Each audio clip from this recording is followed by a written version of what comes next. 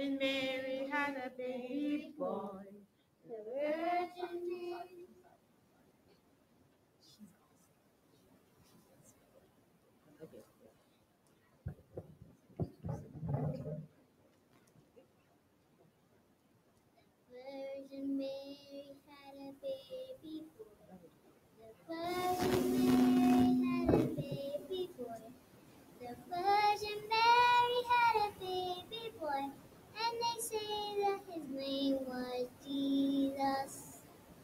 He comes from the glory.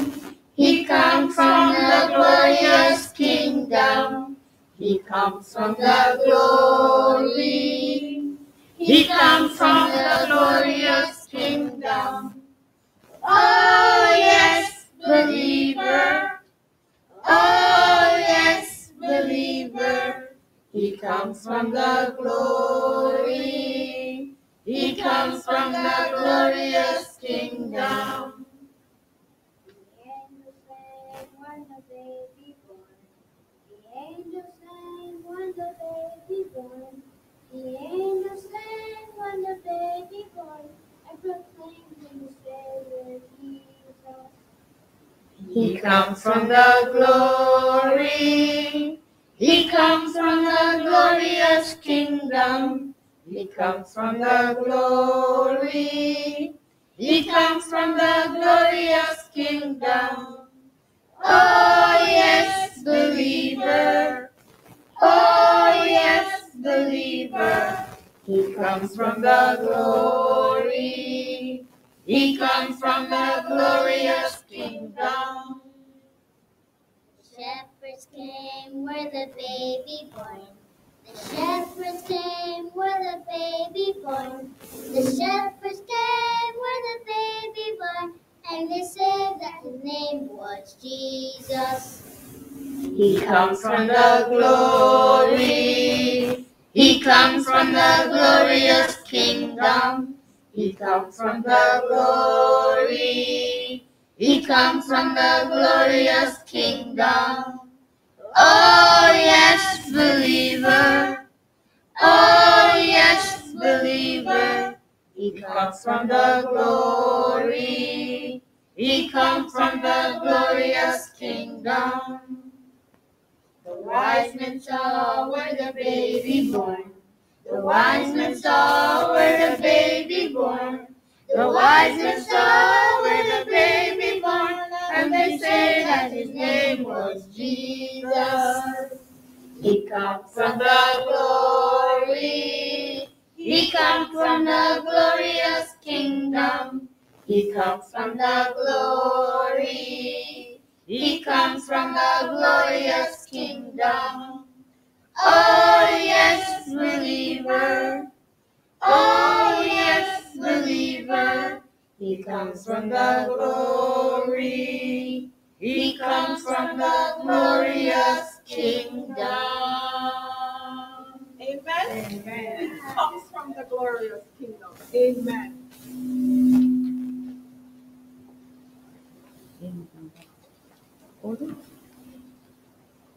Our next song is hymn number 142, and we're going to ask you please to sing along with us with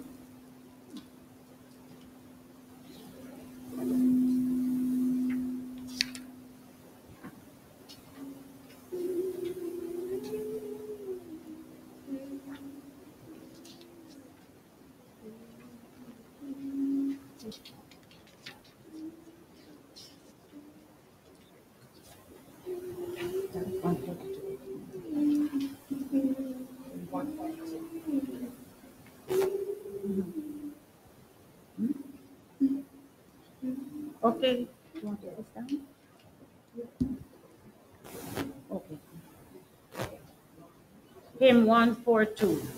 Amen.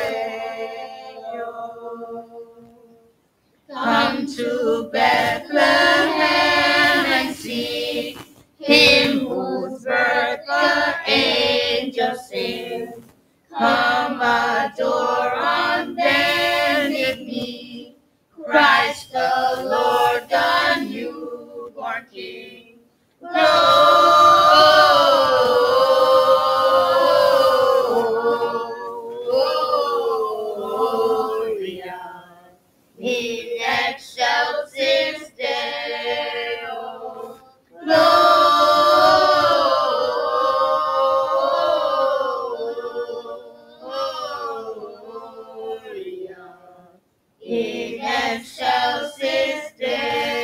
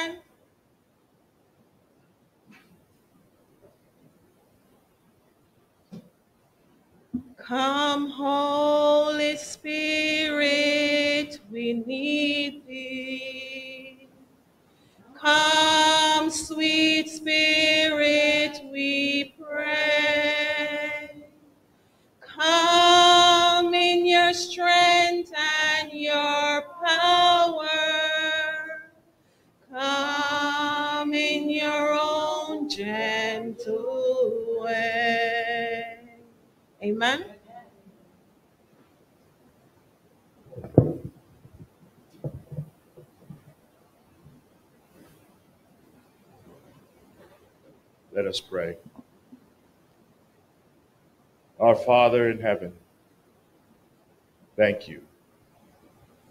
Thank you for this Sabbath day. Thank you for having given us another day of life. Thank you for the love of Jesus Christ. Thank you for salvation. And at this moment, while we meet and congregate in this here, your house, we're asking you, Lord, that your presence will be with us, that it will be in our hearts, that our hearts will be connected with you and with each other, that we may be pleasing in your sight. In Jesus Christ's name. Amen.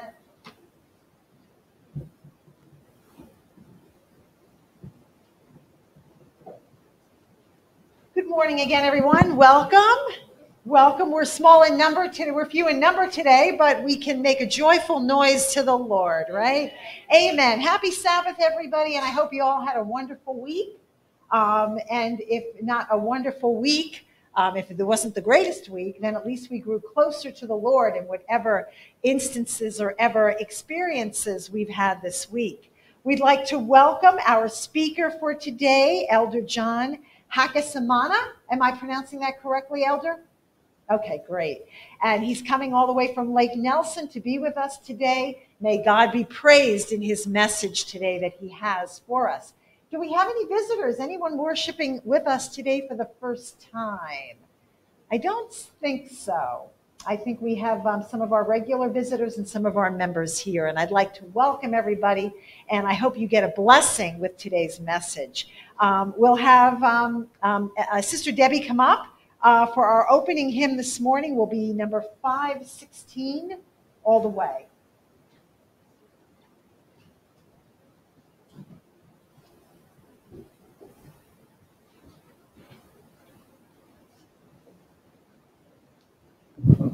Amen. Everyone, please stand for the opening song.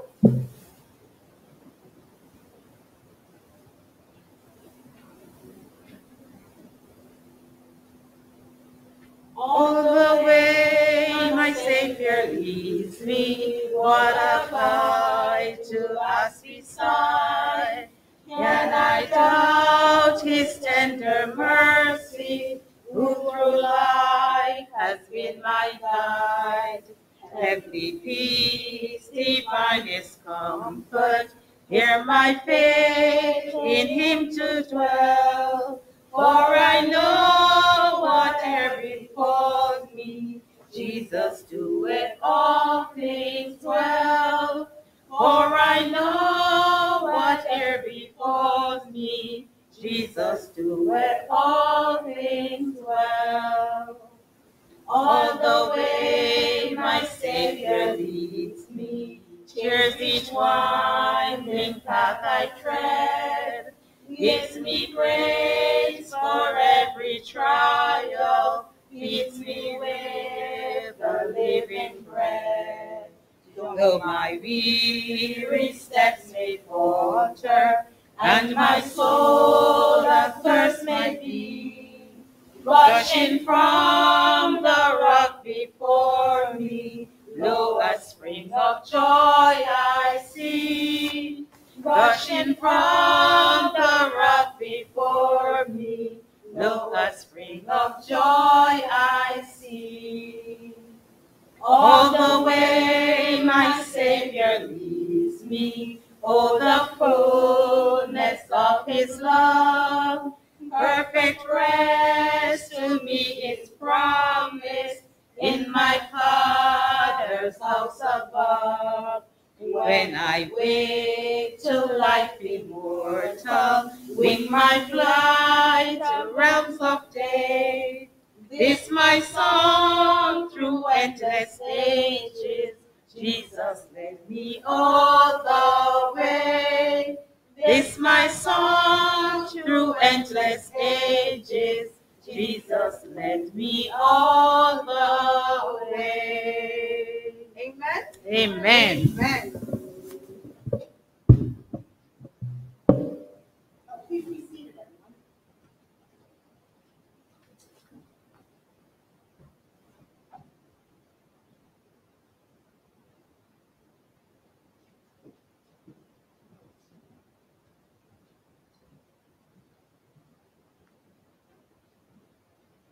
So we have, I guess we have the children all prepared up here for the children's story, right? Looks like you guys are all set, right? So Elder Judith is going to uh, tell us, give us the children's story this morning.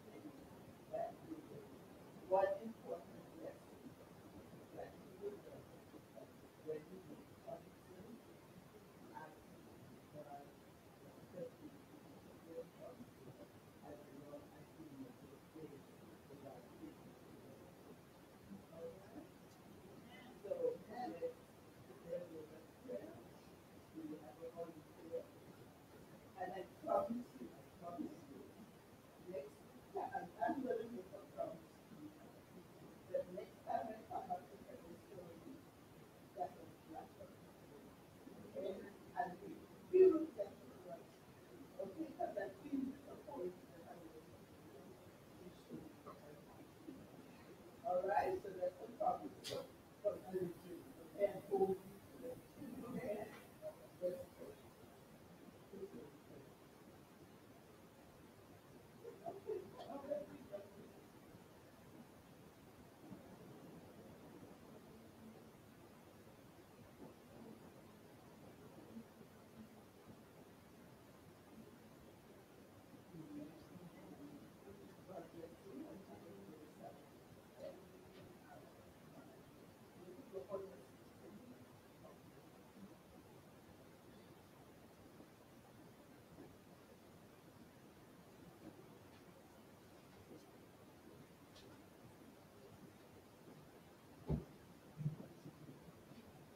Thank you, Elder Judith, for that story. Technology is wonderful when it works, isn't it?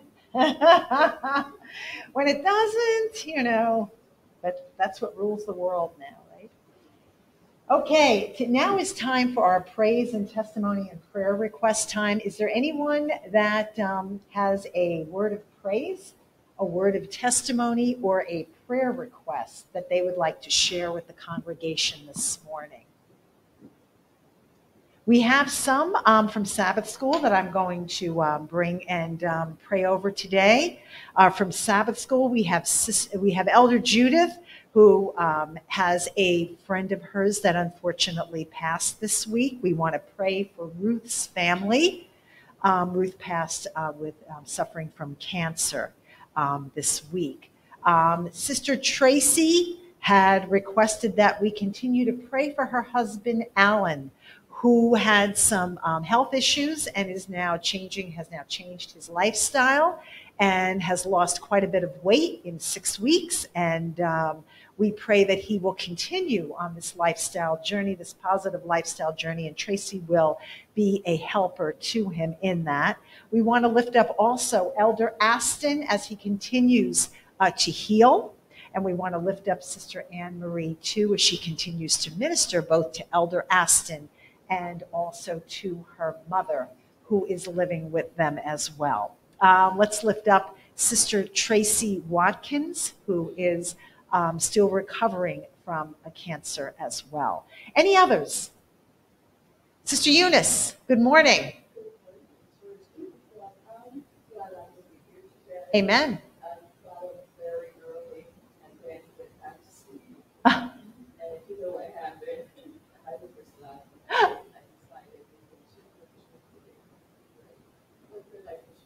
Amen. Amen. Sorry.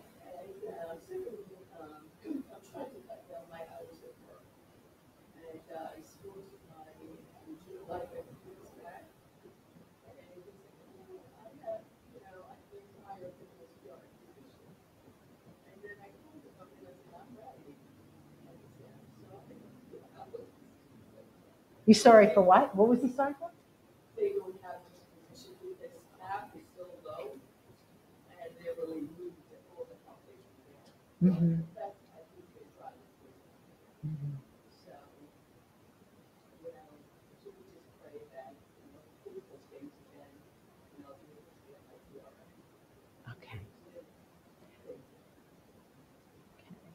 Amen. Amen. And and we are happy that you're here, Sister Eunice. You must have needed the sleep. That's what happens, right? You must have needed the sleep.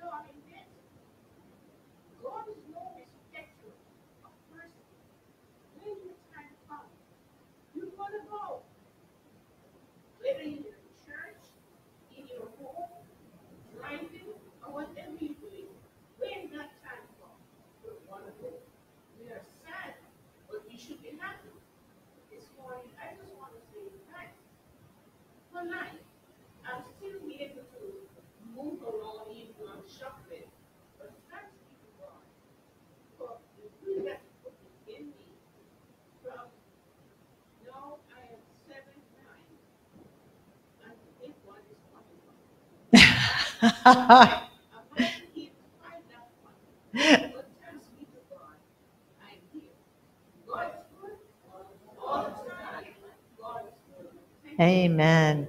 Uh, Sister Madeline, when is the big one?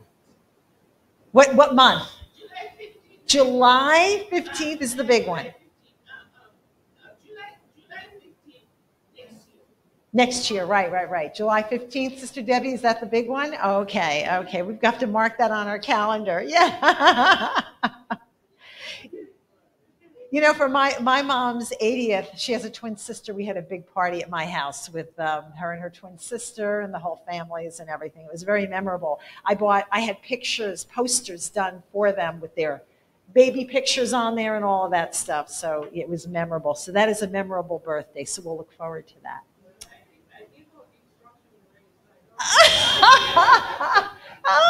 So you, you've told your family what you want, huh?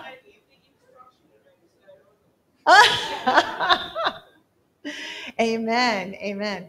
Uh, anyone else? Any other praise? Any other testimonies or prayer requests this morning? Okay, everyone, let's kneel where we're able to, and we will sing our song. Sister Debbie, can you lead us in that song? No, no, no. You could stay there. You could stay there, but. Oh.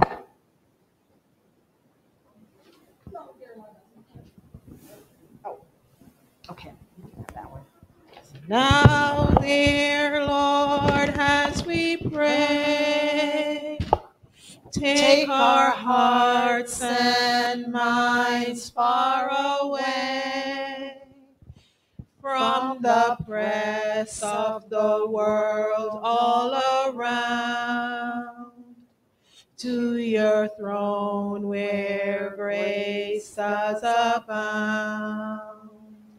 May our lives be transformed by your love.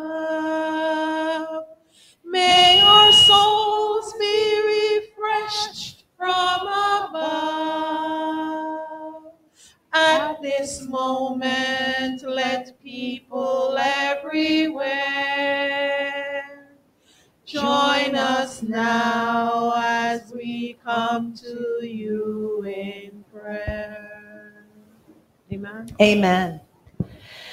Lord, we come to the Sabbath day with praise and thanksgiving. You heard the praises and the testimonies that were uttered a few minutes ago and, and those that were uttered during our Sabbath school time today. We ask you to hear those requests and all the unspoken ones with your blessings and according to your will. Lord, there were praise, uh, praises uttered up to you in thanks for health, and for traveling mercies. Um, there were um, also, uh, Sister Maudlin asks, gives you some praise and thanks you for being able to move around. The simple joys that we have for being able to do the things that we sometimes take for granted. Lord, we thank you and we, we ask that we will never take those gifts that you've given us for granted. The, able to, the, the ability to enjoy the simple things in life, the simple pleasures that you've given us. Be grateful for all of the gifts that you've given us. We thank you for the wonderful lessons you have opened up to us in Sabbath school to call our attention to end time deceptions. While, the un, uh, while unbiblical, the world tends to look at these as very normal, as we were talking about this morning. We ask you to continually impress the truth upon us so we will not be caught up in these deceptions of the enemy. We ask for a blessing for our families, for our friends, our neighbors, our co-workers, for our church, and for our church family. Please keep us united, and may, and may your goals for our church be our goals as well. Lord, you heard some prayers that were lifted up today. Uh, Sister Eunice is asking for, thanks you um, for all you've done in her life, and also, Lord, um, asks you to pave the way for her so that she can um, have this change in job that she's looking for, this upgrade in the job that she's looking for, Lord, uh, so she can work less hours. Please hear her prayer on that. We ask a blessing for Sister for Ruth's family. Elder Judith had requested prayer for her friend Ruth's family. Um, Ruth passed this week, Lord. We pray that you will comfort both Elder Judith, who lost a friend, and also Ruth's family. Lord, that may this experience bring them closer to you. We ask a blessing for Tracy, our sister Tracy, this morning, um, and how she ministers to Alan. We thank you how you've brought Alan. Uh, you've given him sort of a wake up call on his health, Lord. And we pray that, and we thank you, Lord, that he has responded to that call and um, is changing his lifestyle. Please and continue to impress upon him to keep that habit going and that lifestyle change going, and, and Tracy also as she administers to him. We want to lift up praise to, we want to lift up your praises, Lord, and ask for blessing and continued healing for Elder Aston, Lord. And uh, please continue to heal him as he recovers from his illness. And we also ask for a blessing for Sister Anne Marie and the rest of their family as they administer to Elder Aston and also as they administer to Anne Marie's mom who's living with them. We lift up Chrissy Watkins too, Lord. Uh, we pray that she will continue to be recovering in a positive way from the surgery that she just had for thyroid cancer. We ask that you be with her and her family as well. We ask a blessing for our speaker today, Elder John Hakizimana, who is coming here from uh, Lake Nelson, Lord. We thank you, Lord, for bringing him here to give us the morning's message today. We ask also that you bless him um, with the message that he's giving us. May you please bless his ministry, bless him and his family, and um, please bless him and give him traveling mercies back and forth today and bless him in his continued ministry to you. We ask all of these things and blessings for our church, Lord, in Jesus' name. Amen.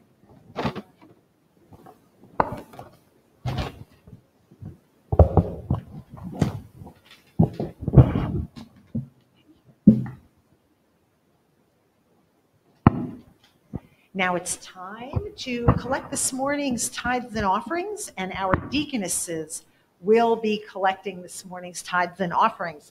Um, do we have a song we can sing while we have um, while we collect uh, the morning's tithes and offerings? Oh, good. How about uh, let's see, what did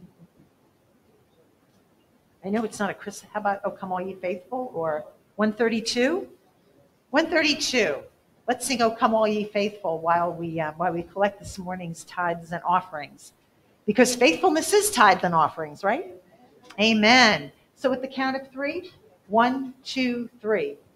Oh, come, all ye faithful, joyful and triumphant. Oh, come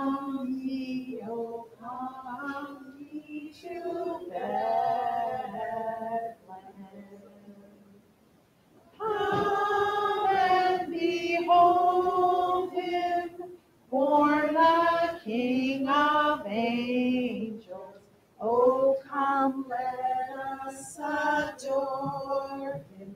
Oh, come, let us adore him. Oh,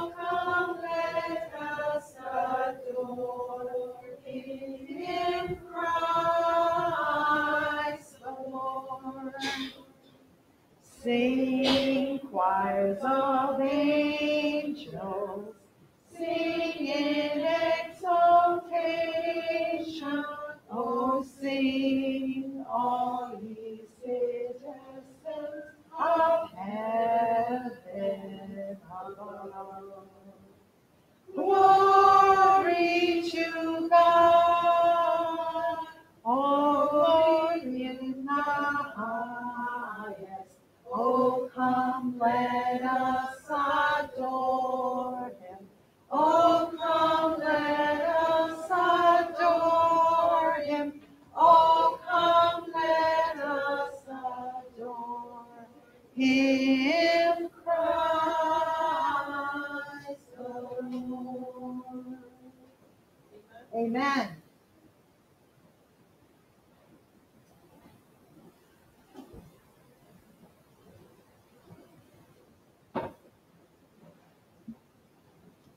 us pray. Lord, we thank you for both this honor and this privilege that you've given us to be able to return tithes and offerings to further the work of your kingdom. May you please use these tithes and offerings to bring back Jesus' soon return And we ask these things in Jesus' precious name. Amen. Uh, now we'll have Sister Ursula come up and read this morning's scripture reading, which is being taken from John chapter 21, verses 15 to 19. And after that, Sister Debbie Barnes will give us some special music.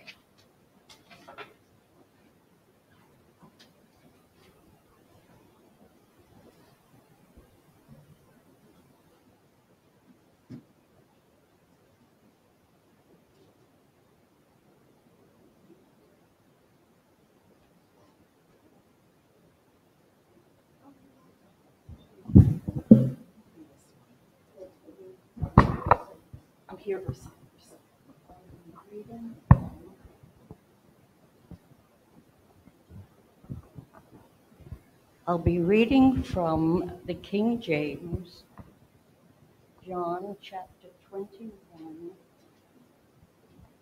15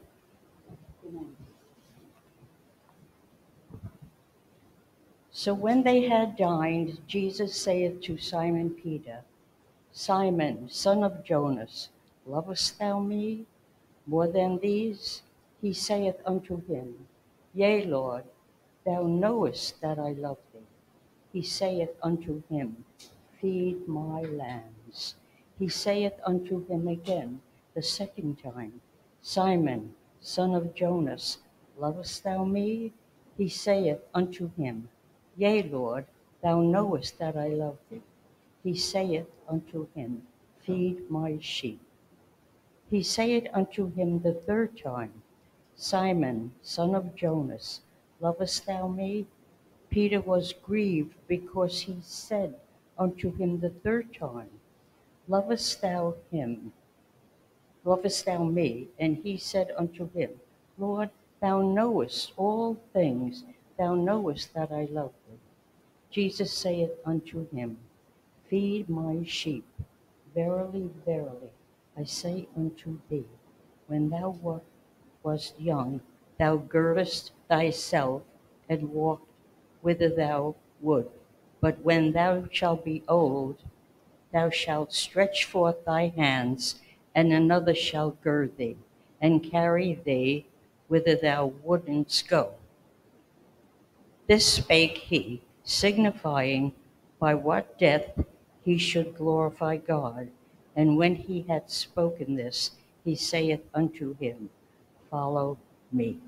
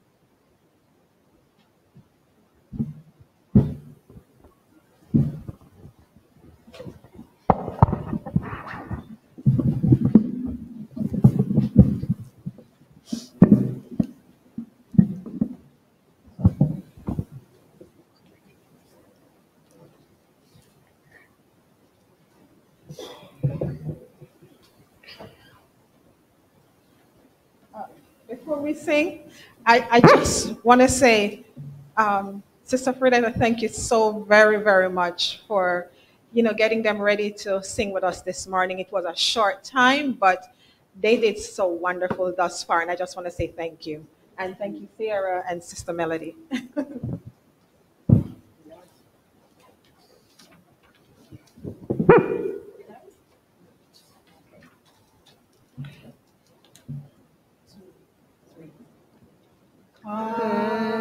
They told me, pa-ra-pa-pam-pam.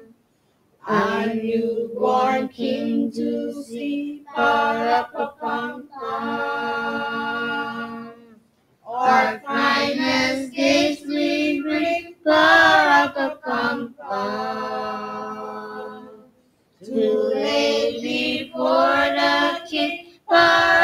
bum bum, rap a bum bum, rap a bum bum. So to honor him, rap a bum bum. When we come little baby, rap a bum bum.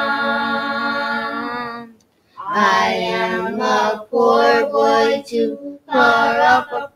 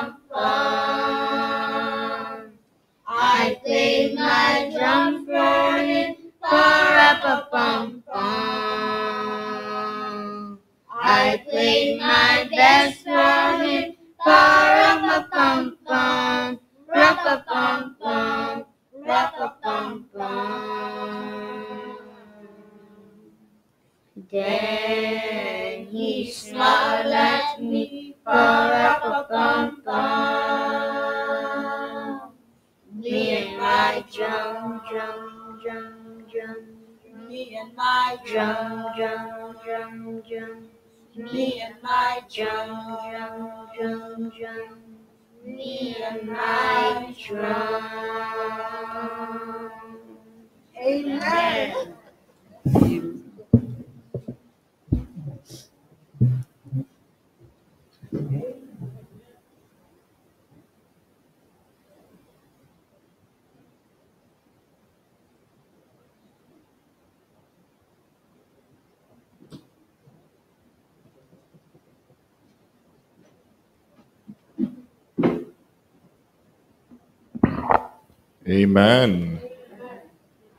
Happy Sabbath. How are you? So, as was said, my name is John. I'm a teacher at Lake Nelson Adventist Academy. Uh, I've been there for quite a while now. Um, it was one of those things where God puts you in a place and you, you, you had no idea that's where you needed to be. And so God put me there. And uh, today we're talking about uh, the question how deep is your love? And I, I, I- I introduced the Lake Nelson connection first because I never knew how deeply you could love people until I started working with children. And then, and then uh, we added high school, and then I started working with teenage children. Uh, and for those of us that remember when we were teenagers, and for those of you that remember when you had a teenager, um, then you truly know what love is. Because you, you, there are those days when you just go like, "Ugh!" and then you have to remember how much God loves you, so you can love those whom He has put under your care. Let's pray. Father God, thank you so much for your love. Thank you for your blessing. Thank you for uh, helping us to understand your word. And I pray, Lord, that you would be with me this morning, that you forgive my sins, that you forgive all, us, all of our sins, that you open our hearts and help us to receive your message. In Jesus Christ's name, amen. Thank you so much for the scripture reading. Uh, this is one of those um, scriptures that that is is a beloved scripture, um, and I love it very much because uh, if you know, I don't know if you've ever done this thing where you compare yourself to what the disciples were. Uh, if you haven't done that yet, uh, you'll be surprised. So look at the lives of the disciples, look at their characters, and then see some of your character traits to see which of the disciples you might resemble. And I am a combination of Peter and Judas. Somebody should say, Lord, have mercy. So this is Jesus talking to Peter. Peter was brash. Peter was you know always stepping forward and peter was was you know uh you know uh if if if you had to put a, a, a label on peter today you would say that he is very hyperactive and and his attention was terrible so he would have adhd you know he he, he jumped in first without thinking and then it was only after that he had put his foot in his mouth that he would realize oh maybe there's something to this. Um, so be, before this conversation happens, if you go into Luke chapter 22, Luke chapter 22, and Jesus says something, you know, this, this is God speaking, and he says something to Peter, and and Peter has the the nerve to reply back, and and um,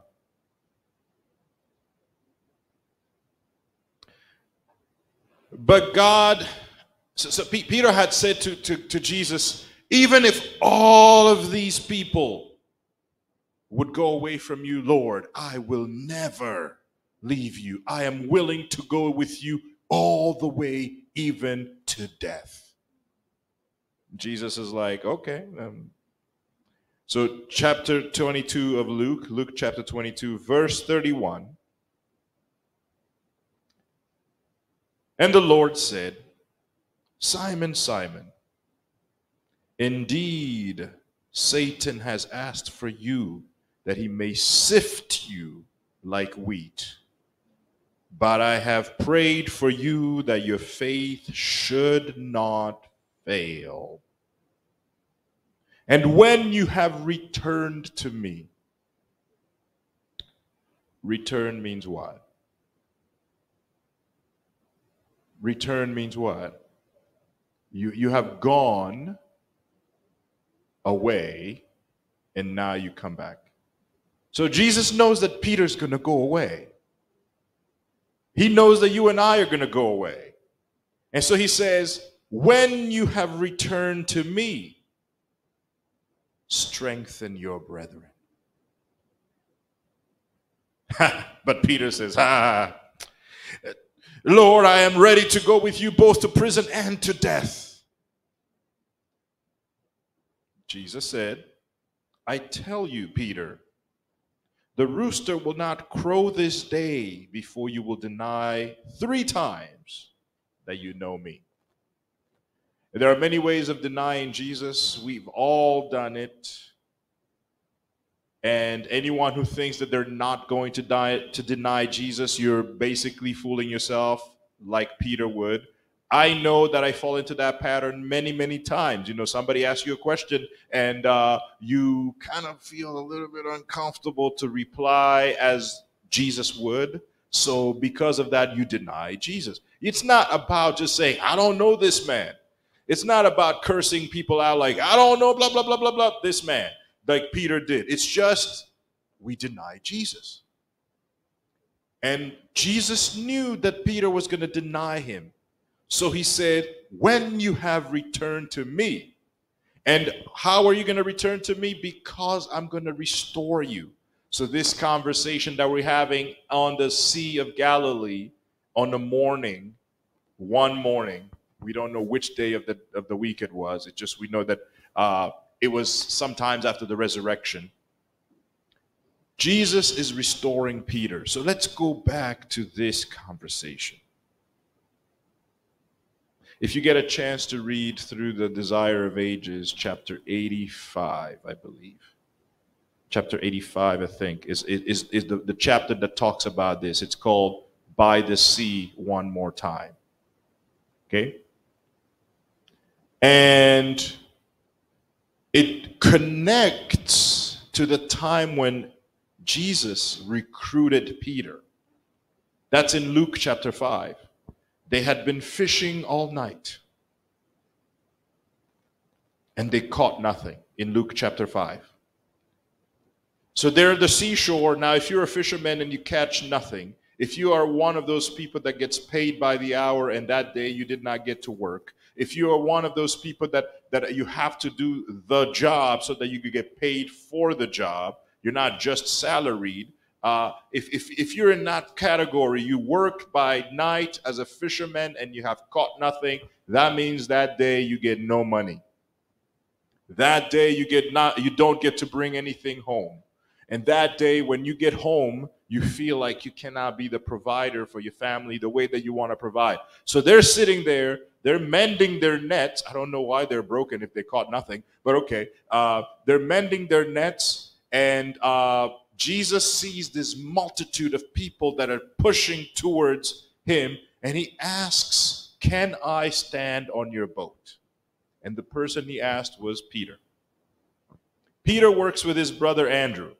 He says, Okay, sure, no problem. He stands there. Peter has probably heard about Jesus Christ because, you know, the, the, this guy has started to walk. And the reason why there's a big crowd is because people have started to know about Jesus Christ. So he stands on the boat. He preaches this sermon. When he finishes preaching the sermon, which, you know, Jesus always has a plan.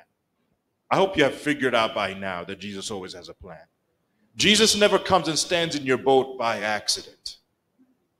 Jesus doesn't get you caught into an accident on the road because he just wants to, to have fun with, with you or whatever. He always has a plan.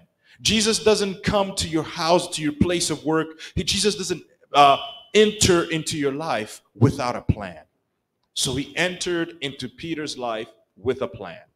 He knows that Peter has gone fishing all night and has caught nothing. He knows that Peter, the brash Peter, the one who brags all the time, I'm sure he brags because, you know, he's pretty good at what he does. He does, he's a very good fisherman and he usually catches a lot and he could brag about it. Did you see what I caught today? And he does that because he feels some kind of way that he needs to get that affirmation from people.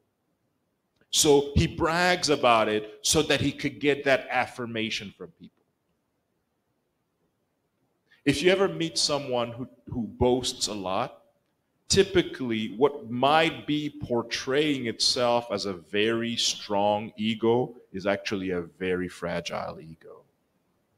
People who talk themselves up a lot are trying to prop themselves up because they know deep down that their self esteem is low. Uh, Jesus knows this about Peter. Jesus knows that this man needs to feel loved. And he usually tries to get it by himself, and it usually backfires because I'm sure this is not the first night that he's ever not caught something. And then this day is going to be a bad day for Peter because everybody, usually when you talk yourself up and then you crash on your face, then everybody's ready to let you have it. So Jesus comes into Peter's life with a plan. He says, Let's go to the deep. How deep is your love? Is the question for today. How deep is your love? The deeper you go into the ocean, the more you need to rely on the safety of the boat. But not just that, because the boat can capsize, the boat can spring a leak. The deeper you go into the ocean, the more you need to depend on God. Even if you're an experienced fisherman, even if you're an experienced sailor, the deeper you go, the more you need to be dependent on God. Deeper love requires deeper dependency. Interestingly, most of us, just like Peter, love to be independent. We want to do things ourselves. We want to be independent as, as a people, We want to be independent. You know, no country wants to be dependent on another country. No city wants to be dependent on another city. And I remember, um, I don't know if you if you followed uh, if you follow what happens in New Jersey, but uh, just before the the pandemic, so in between 2019 and, tw- and 2008, remember 2008, the recession. Um, so the recession and the crisis and everything um, a lot of municipalities in New Jersey started recombining that those municipalities had incorporated themselves so that they could become independent. What does that mean when a city is independent, when the municipality is independent? It means they can pay their own municipal workers, including their firefighters, including their police force, including some of the sanitation workers, including those municipal jobs that need to be done. So usually when a town feels like they got some money in the pocket or you know some money in the municipality, they will incorporate themselves and they will say, "We are an independent town. We are an independent city." And then after the recession, all of these cities realized that they could not sustain that anymore. So they started to consolidate. They started to consolidate. Now, I don't I, I haven't looked at the map down here as much. Uh, I mean, do you guys still consider yourself Central Jersey or do you South Jersey? Are you Central? We see you guys as South, but uh, that's okay. Because if I have to drive an hour to get to you, I feel like, you know, I'm no longer in the center, but okay. Um, but but so so you know if you if you look at New Jersey, how we are, some towns are such tiny pieces, and then uh, it, it up where I am. Uh, so you used to have a big town called Edison, and then some portions of Edison started incorporating. But what's funny is it's like this is Edison. This entire church building is Edison, and this pulpit is a township, totally surrounded by Edison. In order for you to get out of your township, everywhere you go, you have to go through Edison. How are you going to say that you are incorporated? It's just a neighborhood that decided that they wanted to be by themselves, they wanted to be independent. I'm bringing that example out to show you how we live as Christians. God owns the entire world. But sometimes, because you know I've gotten a good salary now, and you know I feel like a good, I, I, got a good social network right now, and you know my friends are, you know, connected, and I'm connected, and you know my children go to good schools, and and you know we have good, uh, you know, retirement plans and we have all of these good stuff. So, you know, now I feel like I could incorporate myself.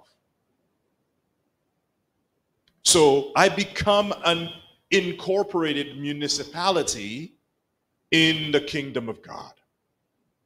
And I feel that, that I can walk around with independence in the kingdom of God. But guess what? We said that deeper love requires deeper dependency. The more independent you want to be is a revelation of how little love you have for God. I'm going to say that again. The more independent you and I want to be is a direct revelation that we don't love God that much.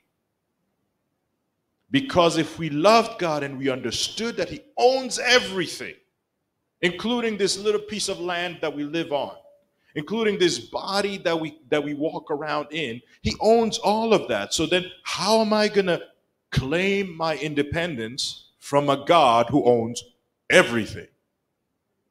So here you have Peter. We haven't forgotten about Peter. Peter is a very good fisherman. Peter is a master sailor. Peter feels that he owns this boat and the sea. He, he, he feels like the Lake of Galilee, that's his place. He has, he's a master of his domain. But he has caught nothing that night. And Jesus comes to remind him who's the boss. He says, Let's go to the deep. And Peter said, Okay, I mean, you know, uh, we usually fish at night because when it's sunlight, the fish go deeper and we can't get them. So, you know, we go fish at night because they come a little bit closer to the surface. But you're a carpenter and, uh, um, you know, you don't know anything about the ocean, but okay, whatever. You know, people listen to you. I see a crowd of people listening to you, so I'll listen to you for a little bit, but I don't think it's going to work. Doesn't God sometimes ask you to do something and you go like, well, you know, uh, I have a medical degree, um, and uh, and you know, I've gone for a long time to school, and uh, and then you know, uh, we have learned in school that this is how it works, and you're telling me to lay on this side and it's going to work. It's like that makes no sense. Or, you know, for me, I'm, I'm a scientist. Uh, I teach physics, I teach mathematics. I like things that are factual. So, you know, even this conversation we're having today about love makes no sense because there's no science behind that. I mean, people could say there's psychology and all that, but even then, that's we don't really have, you know, there's no formula for making this happen. Like you cannot repeat, you know, like uh, you know, put this in in like, like the way that you you you create a, a recipe and you know that that recipe is going to work. There's no science behind love. It just happens, and it doesn't happen the same way for everyone. But Peter says, okay, uh, we'll go to the deep. Okay, no problem, sure. And then Jesus asked him, okay, now cast the nets. Jesus says, cast the nets. Peter says, we have toiled all night and have caught nothing. But at your word, we will cast a net. One. Jesus, um, I do this for a living. I do this every day for a living. I don't understand how you could go tell me that a builder is going to tell me how to do things in the ocean. But, okay, you know what? I'm going to humor you. We're going to cast one net.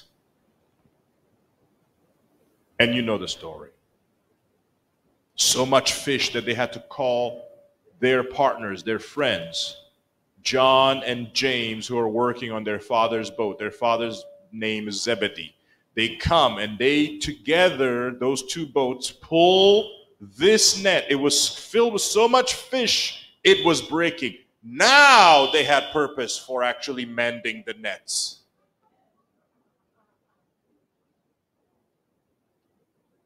I understand why they were mending the nets before, but now they actually have purpose.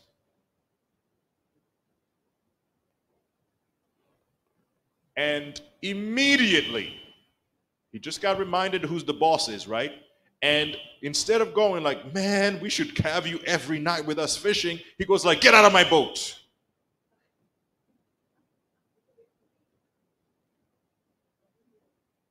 Peter told God, I am so independent that when you show me off in my job, I want you to go.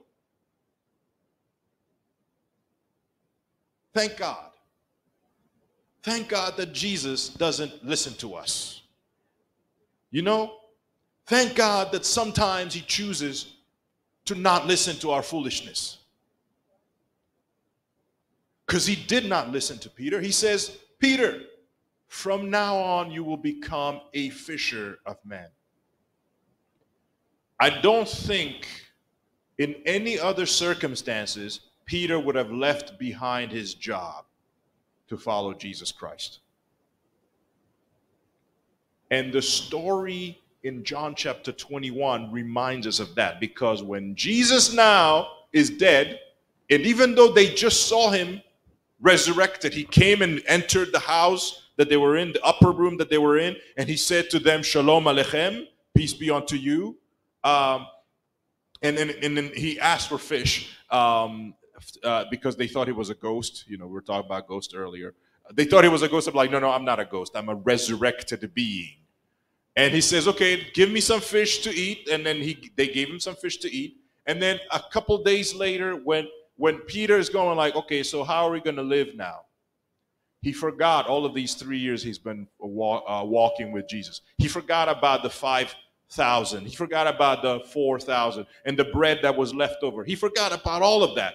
And as a matter of fact, they're going fishing at the lake. I, I have been there. And last time I was here, I was showing you pictures of me being there.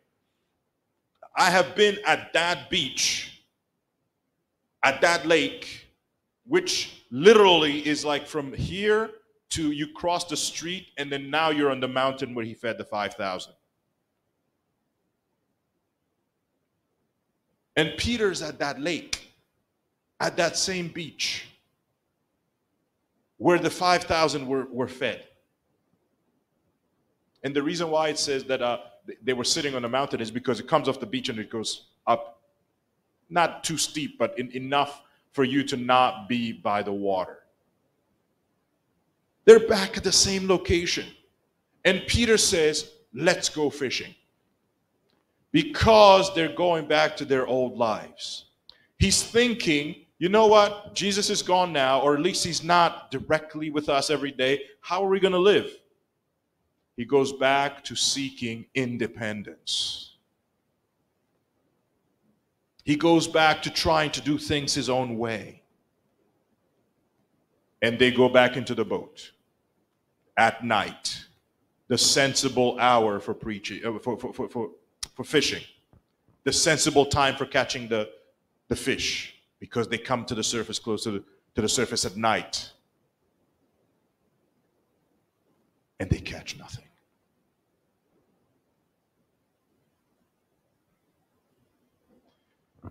Sometimes I want to be there to hear the conversation between Jesus and the fish. Have you ever? I, I, I, my mind goes in those areas too. My my mind veers in, the, in those kinds of conversations. Could you imagine Jesus telling the fish, "Okay, guys, guys, um, today we're not going into that net." Right? I mean, it is Jesus. He speaks to all of nature, and nature obeys. Right? And then when it's time for the fish to go into the nets, he tells the fish, hey guys, now time to go into the net. And the fish are willing to lay down their lives because the master commanded, and they know that he owns them. We as human beings are the ones who are stubborn. We're the ones trying to be independent. I know that Jesus called the fish and told them, You stay away from that boat all night. And they did. And then when the morning comes, I love, I love how E.G. White puts it in, in that chapter in Desire of Ages. It says that through the night, they were there working, and on the shore, there was this one lone watcher watching them work.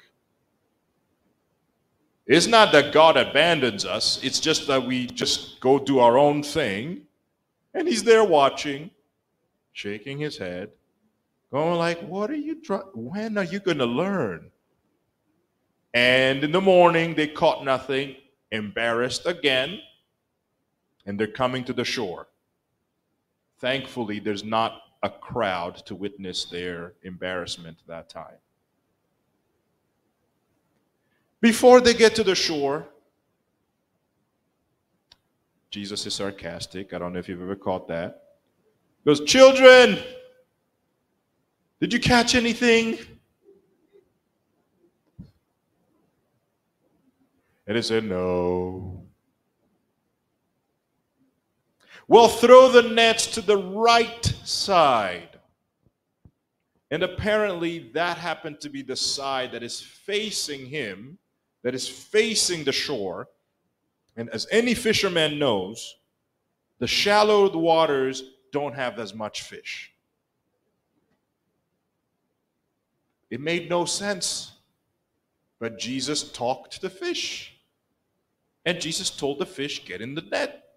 And 153 of those fish listened. I still don't know why it says 153. I've tried to find out different commentaries and all of that stuff, what the number 153 means, and I have not found a reliable source that tells me perfectly what 153 means. But 153 big fish got into that net.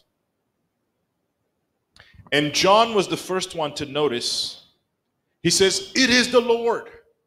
And Peter, I don't know if he was fishing naked or something like that, because another one that the commentaries don't really explain, but it says that he put on his uh, uh, outer garment, or better yet, he girded his outer garment.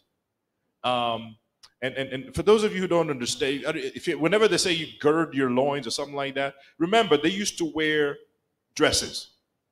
Everybody wore dresses. They didn't have pants, which is weird when we have a conversation and fight about pants and all this stuff in this church. I don't, I don't get that. They all wore dresses. Okay? So now, if you want to run in a dress, if you want to swim in a dress, that's not going to work very well. So what do you have to do? Hold on. If I'm wearing a dress, I have to first pull it up this way and then tie it on my waist. So now I have pantaloons. Eh? That's what it means to gird yourself, to gird your loins. So Peter girded his loins so that he could be able to swim. He was impulsive, rash, hyperactive. He couldn't wait for the boat to get to the shore. So he swam, he jumped into the water, swam to the shore, left his friends behind, and the friends rowed the boat to the shore, and then he gets there immediately. There's a reason why he wanted to get to the master so quickly. Because he was so happy to see the master. He remembered that just a few nights back he had betrayed the master, and now he wanted to, to run back and say, I'm sorry. And Jesus knew that he knew, uh, that Jesus knew that Peter was sorry. And Jesus knew that Peter understood that he had messed up. So that's why he asked him the three questions. The question we have for today is How deep is your love? In the Bible, there are three words that are used for the word love. So in, in English, English is a very weird language. Um, English is a very, what's the word? There isn't a word that could properly define how I think about English. Um, I had to learn English. I grew up in the United, uh, not outside of the United States of America. I grew up in Rwanda. We spoke French and we spoke my native language. So I learned my native language in Kinyarwanda, and then uh, and then I, I learned French, which is more structured. It has its problems, but it's more structured. Uh, and then I started learning English. English has zero structure. Zero structure. And, you know, there, there, and there, you know, that's just, you know, like, uh, and, and, and you know, if, if, if, if you want to learn English and you are a foreigner and you're learning it and you find all these rules and all these exceptions and all these things, it's so complicated. And in English, we have several words to mean the same thing. But for this one particular thing, we chose one word to mean different things love. So the question is, what does love mean? And how do you describe it? So is, is if I say I love my mom the same thing as saying I love pizza? You're laughing, but it's true. Thank you for laughing. That's so so so so uh if I love my car, would that be the same thing as the, the me loving my brother, my friend, you know, a, a husband loving his wife or a wife loving her husband? Is that the same thing? Is that the same love? No, but in English, it's the same word. So you're stuck with context, context clues the ancients were not that careless with that word. They had multiple words for what we translate today as love. In the Bible, there's three of those. There's the one that we talk about very often uh, as godly love, as uh, the, the love that God has for us and the love that God wants us to have for one another. That's agape. So agape is that that charitable love, that, you know, that kind of love that you love someone and you want what is best for them, even though that means you have to sacrifice something. Okay? The kind of love that would you would never harm that individual because you want them to be safe. You want them to be okay. You want them to be their best version. That's agape. We have also uh, philia. Philia, which comes from philos. Philos is like a friend. Okay, so I choose to love a friend, but you know, like the way that I love my friend is not the same way that a husband loves his wife. It's not the same thing that God loves us. So, so you know, so that's philia. But then you know when when uh, it, hopefully hopefully you don't love your friends with a third third one uh, eros. Eros is, you know, that's the way we get the, we get from that the word erotic. You know, that's that's that's that that that physical attraction, that strong physical attraction. It's very sensual. It's very it's it's you know it's it's it's limited mainly to just the beauty of the body. So that's that's eros. So we have agape, we have philia, we have eros, but there's another one called storge.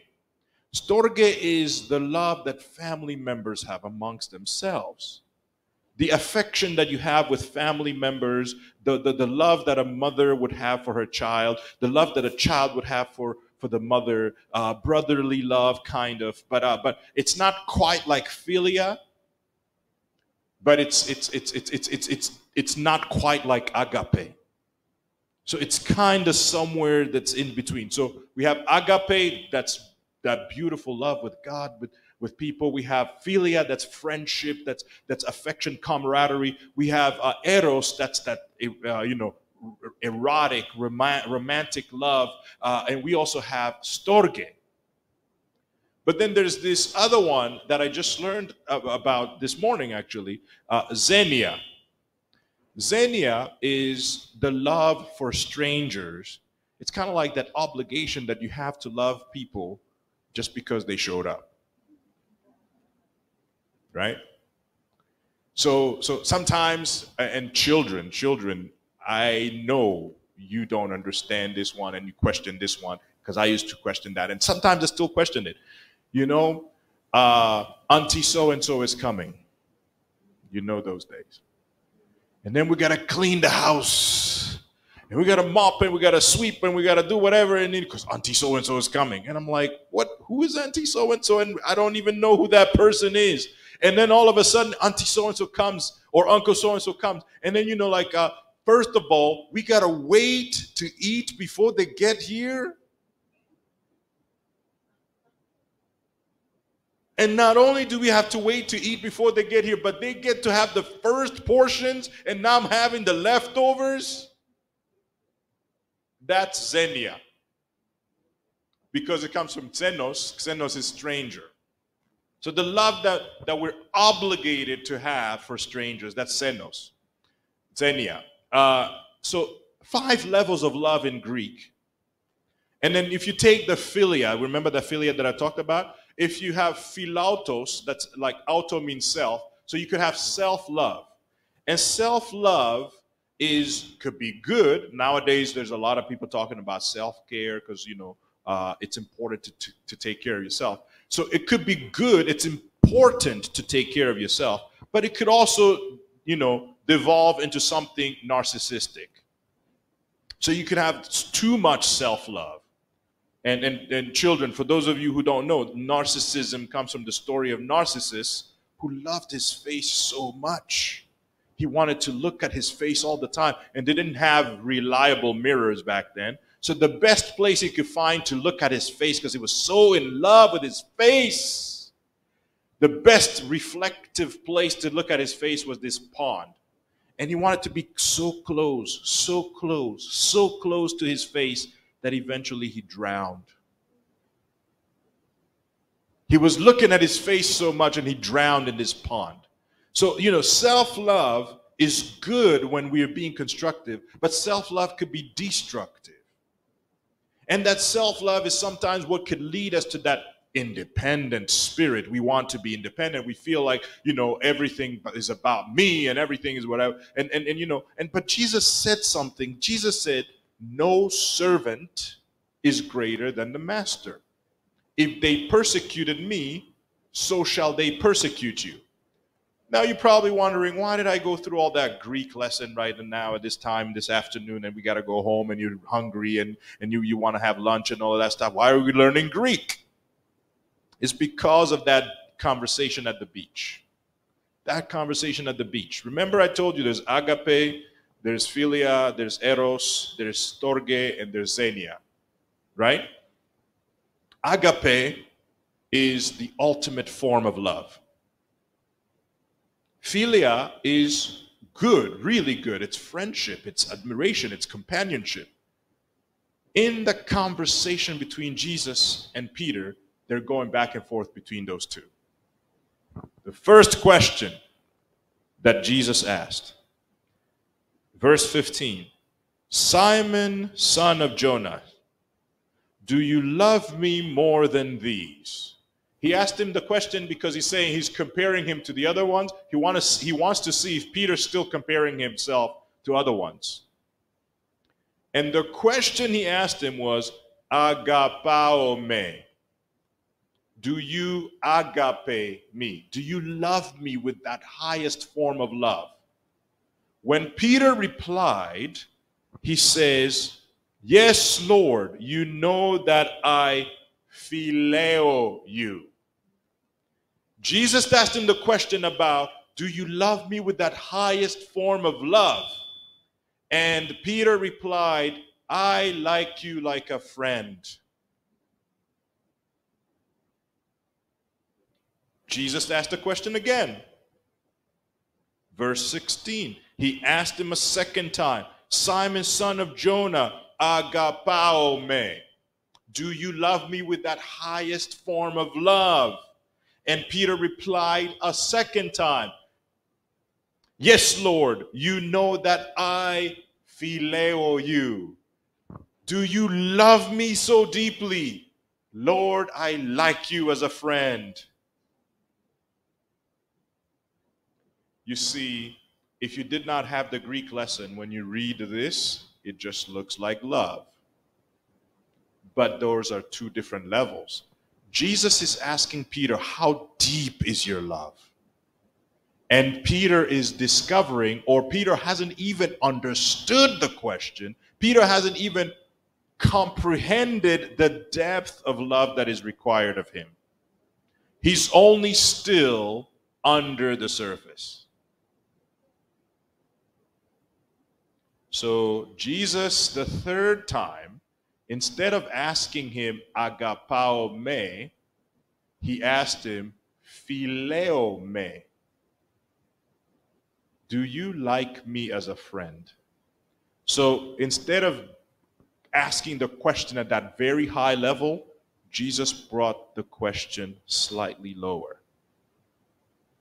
Because he also wanted Peter to realize I asked you the question up here. You haven't reached there yet. So I'm going to come to your level. The third time he asked him, Simon, son of Jonah, phileo me, do you like me as a friend? Peter was grieved because he said to him the third time, Do you phileo me? And he said to him, Lord, you know all things. You know that I phileo you. You know that I like you. And with each one of these, Peter, uh, Jesus was telling Peter, "Feed my lambs, tend my sheep." He's saying, "Because you love me, do this." And then he gives Peter a glimpse of the future. He says, "Right now, you're not at the agape level yet, but in the future, you will be. He says, Most assuredly, this is verse 18. I say to you, when you were younger, you girded yourself. That, you know, that girding yourself that we did the demonstration. Uh, you girded yourself and you walked where you wished. But when you are old, you will stretch out your hands, and another will gird you and carry you where you do not wish. This he spoke, signifying by what death he would glorify God. And when he had spoken this, he said to him, Follow me. Stretch out your hands means die on a cross. Peter did die on a cross. And because Peter loved Jesus so much, he says, Far be it from me to die on the cross the same exact way that Jesus died. Crucify me upside down. He had finally understood agape. He had finally understood that to go deep with God, you must become dependent on God. He finally understood that you could leave everything behind. You do not have to be brash. You do not have to be boastful. You do not have to have your way. You do not have to be independent. He finally understood what it means to love God and to love God deeply. And he became the leader of the church, not because he was boasting, but because he understood that in order for you to lead, you must be the one to sacrifice the most. He understood agape. So, the question I'm going to ask you today is how deep is your love? What municipalities are you willing to give up so that you could be reconciled with God? What independence do you need to give up so that you could love God, not just at the phileo level, but to love Him at the agape level? What must you give up today?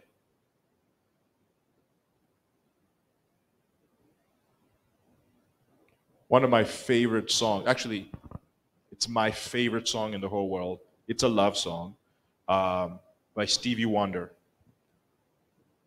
It's called As. Right? Sometimes they put that in parentheses, always, because he keeps repeating the word always.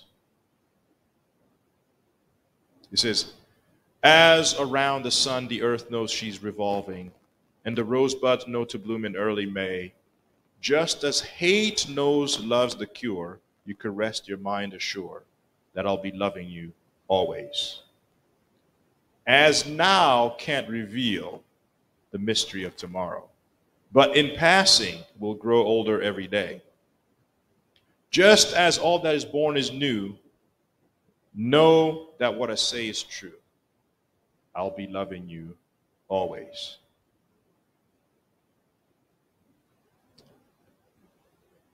And then he starts saying how deeply that love is. It's like, I will never stop loving you. I will only stop loving you if this happens. He says, I will love you until the rainbow burns the stars out in the sky, until the ocean covers every mountain high, until the dolphin flies and parrots live at sea, until we dream of life and life becomes a dream, I'll be loving you. And here's a part that really touches me this part, this part, because it goes back to these how deep is your love? So we all know sometimes life's pains and troubles can make you wish you were born in another time and space. But you can bet your life times that and twice its double that God knew exactly where he wanted you to be placed. So when, make sure when you say you're in it but not of it, that's a Christian saying, right? I'm in it but not of it because Jesus said we are in it but not of it. Make sure when you say you're in it but not of it, you're not helping to make this place into a place sometimes called hell. Change your words into truth and then change that truth into love. And maybe our children's grandchildren and their great grandchildren will tell. I'll be loving you until the rainbow burns the stars out in the sky, until the ocean covers every mountain high, until the dolphin flies and the parrots live at sea, until we dream of life and life becomes a dream, until the day is night and night becomes a day, until the trees and the seas just up and fly away. And this is one that gets me as a mathematician. Until the day that eight times eight times eight is four. Until the day that is the day that are no more. Ah, it's a beautiful song. It's a beautiful poem. And I love this song because it challenges us.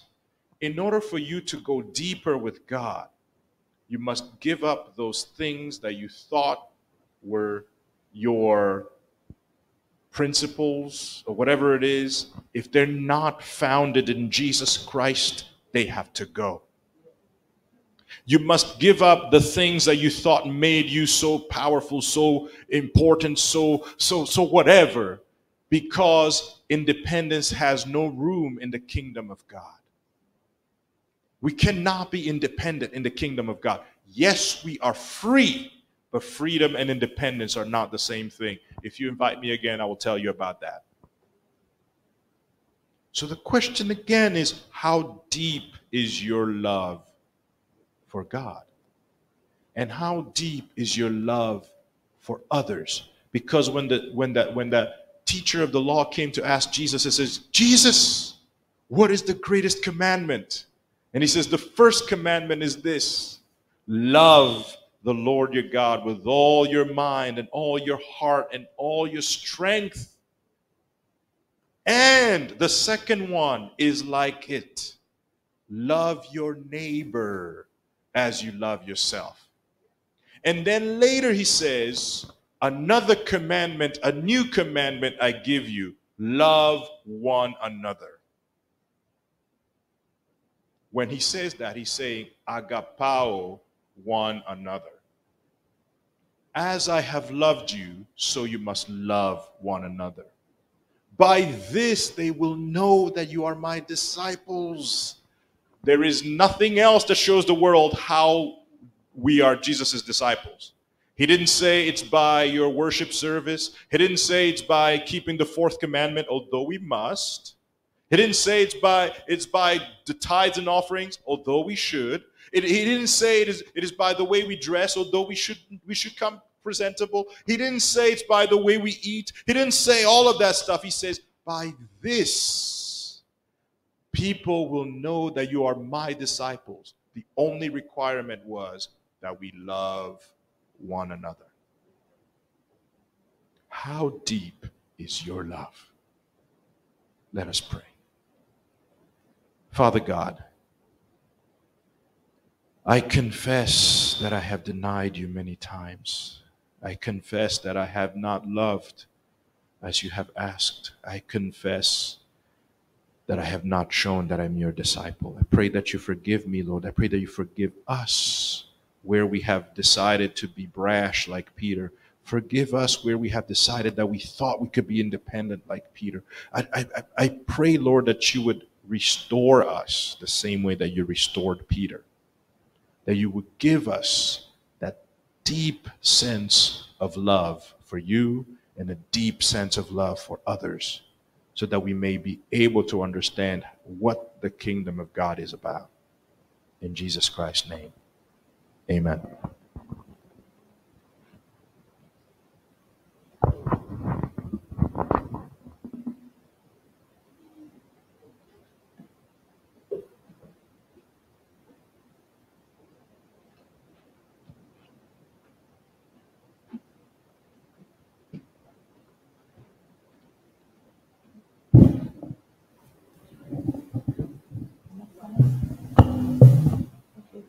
Please stand for the closing hymn, number 76.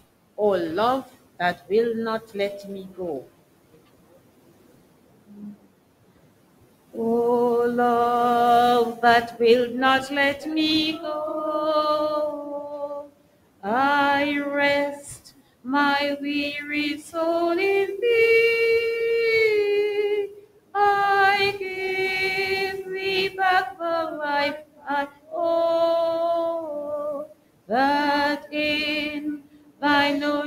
depths its flow may reach her fuller be. O light that followest all my way, I yield my flickering torch to thee. My heart restores its borrowed rest that in thy sunshine's blaze its day may brighter, fairer be. O joy that seekest me through pain, I cannot close my heart to thee. I trace the rainbow through the rain and to feel the promise is not vain that morn shall fearless be. O cross that liftest up my head, I dare not ask to fly from thee. I lay in just life's glory and from the ground there blossoms red, life that shall end. be. Amen.